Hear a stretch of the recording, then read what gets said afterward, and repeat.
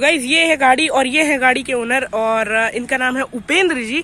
तो नमस्कार सर सबसे पहली बात कितनी चला ली आपने इस गाड़ी को? Seven thousand six hundred seven thousand six hundred kilometre और कब का मॉडल है ये? टू थाउज़ेंड ट्वेंटी जुलाई। जुलाई टू थाउज़ेंड ट्वेंटी हाँ। तो सबसे पहली बात यही गाड़ी क्यों लिया आपने? नई आई थी एंड इसके फीचर्स हमने देखे रेट वाइज फीचर्स पैक्ड गाड़ी थी। हाँ। सेवन सीटर का ऑप्शन था। हाँ।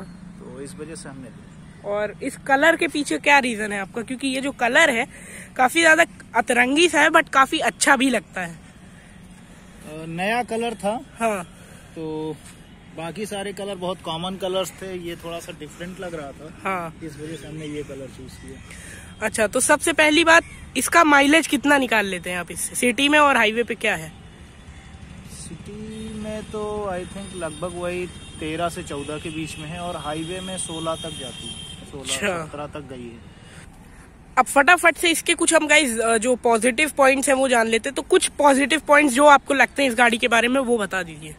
स्पेसियस है हाँ। फीचर पैक्ड है हम्म, जितना भी एसेंशियल जो आप चाहते हैं वो सारी चीज़ें हैं कंफर्टेबल है ग्राउंड क्लियरेंस बहुत अच्छा है तो कहीं पे भी ये टेंशन नहीं रहती कि ब्रेकर होंगे या कुछ भी होगा आप आराम से जा सकते हैं एंड यही सारी चीज़ें हैं सूरत लगती है हम्म, बहुत ज़्यादा लंबी नहीं है वरना सिटी में प्रॉब्लम आ जाती थी और under four sub four metre segment में सेवन सीटर का ऑप्शन है जो काफ़ी स्पेशियस भी अच्छा है हाँ। अच्छा। चलिए जिस गाड़ी के पॉजिटिव्स होते हैं उसके नेगेटिव भी ज़रूर होते हैं। तो इसके आपको क्या क्या नेगेटिव्स लगते हैं जरा ये बताइए।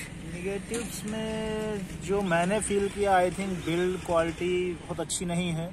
एंड एवरेज भी और अच्छा हो सकता है आगे हो चूँकि अभी मैंने दो सर्विसेज़ कराई हैं तो कंपनी भी इसका क्लेम करती है बट मुझे 15-16 से ऊपर कभी नहीं मिला। तो वो हो सकता है। क्योंकि एक हज़ार सीसी का इंजन है तो इसमें आदमी जो माइलेज है वो थोड़ा सा एक्सपेक्ट ज़रूर करता है। जी जी। क्योंकि वैगनार है ये सारी गाड़ियाँ इसी में 18 19 निकाल देती हैं और वो भी लगभग सेम साइज़ की ही हैं। तो सर्विस आपने अभी तक इसकी कितनी करवाई है? दो सर्विसेज़ एक तो कल ही हुई है इसकी सर्विस तो पहली सर्विस में कितना खर्चा आया और दूसरी में कितना आया? पहली सर्विस तो फ्री थी बट उन्होंने कुछ नीचे रबर पेंट वगैरह ऐसा किया था एंटी रस्ट के लिए तो लगभग तीन हज़ार रूपए उन्होंने मुझसे लिए थे। एंड हाँ कल की सर्विसेज़ में उन्होंने सारे आयल्स एंड फ़िल्टर चेंज किए तो लगभग छह हज़ार का खर्चा आया लगभग छह हज़ार का और लेबर चार्ज माफ़ होता है इसमें तो हाँ, कितना लेबर चार्ज उन्होंने जो बताया कि टू थाउज़ेंड है सर वो आपका फ्री है। तो मतलब अगर लेबर चार्ज भी लग जाता तो मतलब सात से आठ हज़ार इसकी सर्विस कॉस्ट आती है। अच्छा। तो मतलब सर्विस कॉस्ट बहुत ज़्यादा हम लो नहीं कहेंगे इस गाड़ी की है ना? बहुत ज़्यादा लो नहीं है। क्योंकि सारे आयल्स एंड फ़िल्टर चेंज होते हैं तो आठ हज़ार। तो अभी तक आपने इस गाड़ी को साढ़े सात हज़ार किलोमीटर चलाया है इतने में आपको कुछ ऐसी कोई पर्टिकुलर खास कमी लगी जो आपको लगता है कि यार ये एक जो है वो मेजर प्रॉब्लम इस गाड़ी में आ जाती है? कोई ऐसी चीज़ लगी आपको? ऐसा तो कुछ नहीं है कुछ ऐसा खास नहीं लगा बट कभी कभी ऐसा होता है कि अगर 1200 सीसी का इंजन होता, थोड़ी पावर परफॉर्मेंस और अच्छी होती लैक ऑफ़ पावर कभी कभी समझ में आती। मतलब जैसे कोई रैटलिंग नॉइज़ हो दरवाजों से आवाज़ रैटलिंग नॉइज़ थी। रैटलिंग नॉइज़ है अभी भी है इनफैक्ट हम्म, साइलेंसर जो है वो बहुत ज़्यादा वाइब्रेट होता है। हम्म, तो उस वाइब्रेशन की वजह से रैटलिंग नॉइज़ बहुत ज़्यादा आती है। कभी कभी तो नहीं आती लेकिन कभी कभी बहुत ज़्यादा आने लगती है। फिर उसको ऐसे सेट करिए थोड़ा बहुत तो रुक जाती है नहीं तो फिर आने लगती है। मैंने उसके लिए सर्विस सेंटर में कहा भी कंप्लेन भी की तो उन्होंने कहा कि सर आपने जो लेग गार्ड वो बुल बुल गार्ड लगवाया हुआ है तो बुलगार्ड में साइलेंसर लड़ रहा है जो कि बहुत मेरे समझ में इसलिए नहीं आ रहा क्योंकि कभी कभी सही होती है और कभी कभी ज़्यादा आवाज़ आती है। हम्म। तो वो क्यों है? अच्छा तो मतलब उसके अलावा ऐसे कोई डैशबोर्ड से खिड़की से सीटों से कोई आवाज़ अब तो नहीं आती? नहीं ऐसा और कोई आवाज़ नहीं अच्छा।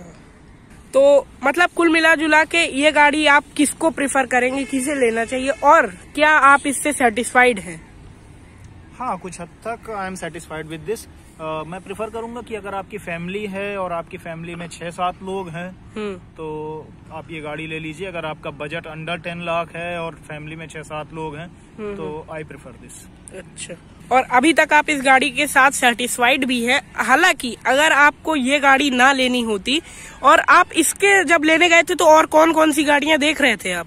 आ, मैंने अर्टिगा देखी थी। हाँ। तो बट उसमें बहुत ज़्यादा वेटिंग चल रही थी और पेट्रोल इंजन उसमें भी था इससे लगभग डेढ़ लाख का डिफरेंस था हाँ।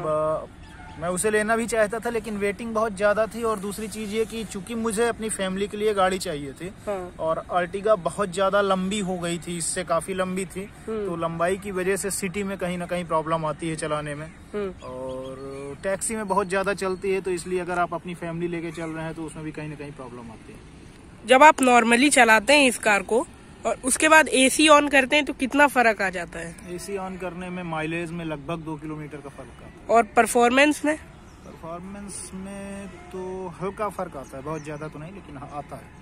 तो फीचर्स वगैरह आपको इसके सब सही लगते हैं? फीचर्स तो बेस्ट है। इस रेट में आई थिंक ये फीचर पैक्ड गाड़ी है इतने फीचर कोई भी कंपनी और नहीं देती है।